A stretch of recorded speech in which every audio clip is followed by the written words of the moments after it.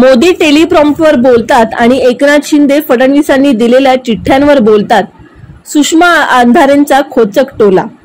महाराष्ट्रातून सात प्रकल्प बाहेर गेले लाखो लोकांचे रोजगार गेले. गुजरातला प्रकल्प नेऊन मुंबईला दुबळे करून गुजरातला ड्रीम सिटी करायचा प्रयत्न असल्याचा हल्लाबोल सुषमा अंधारे यांनी केला. कोल्हापूरमध्ये महाप्रबोधन यात्रेतून शिवसेना उपनेत्या सुषमा अंधारे यांनी मुख्यमंत्री एकनाथ शिंदे यांच्यावर कडाडून हल्ला चढवला. महाराष्ट्रामध्ये जातीचे राजकारण सुरू असल्याचा आरोपही त्यांनी केला. शिवसेनेतून अनेक जण आले गेले पण शिवसेनेला काही फरक पडला नाही. राज ठाकरे भुजबळ यांनी शिवसेना संपवायचा कधी प्रयत्न केला नाही. सुषमा अंधारे म्हणाल्या की मोदी टेलिप्रॉम्प्टवर बोलतात आणि एकनाथ शिंदे फडणवीसांनी दिलेल्या चिठ्ठ्यांवर बोलतात असा टोलाही त्यांनी यावेळी लगावला.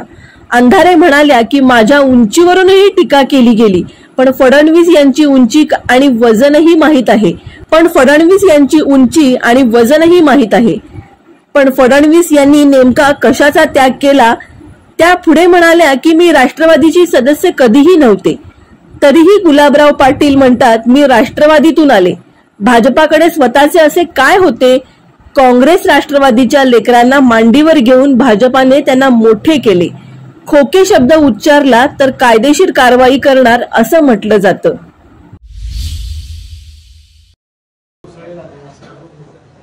होय होय. याच्या संबंधाने मी माझे जे लॉजिक म्हणलं मी हे वेग बोलत नाहीये. मी उगाच काहीतरी राजकीय काय म्हणता येईल त्याला अशी राळ उडवणे अशा अर्थाने अजिबात बोलत नाहीये. मी हे खूप विचारांती सांगते की होय दोन हजार तेवीसला मध्यावधी निवडणुका लागतील. आणि त्या खात्रीने लागतील. त्याची कारणं अनेक आहेत. त्यातलं पहिलं कारण हे आहे की भाजपचीच अंतर्गत धुसफूस फार आहे.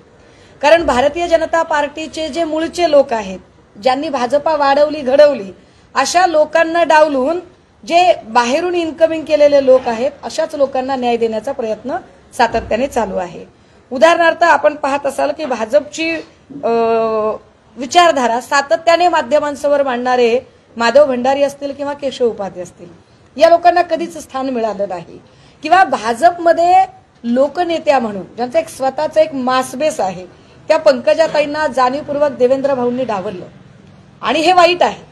म्हणजे त्यांना त्याची किंमत मोजावी लागणार आहे येणाऱ्या काळात कारण पंकजाताईंना मानणारा जो समर्थक वर्ग आहे तो प्रचंड देवेंद्रजींवर नाराज आहे.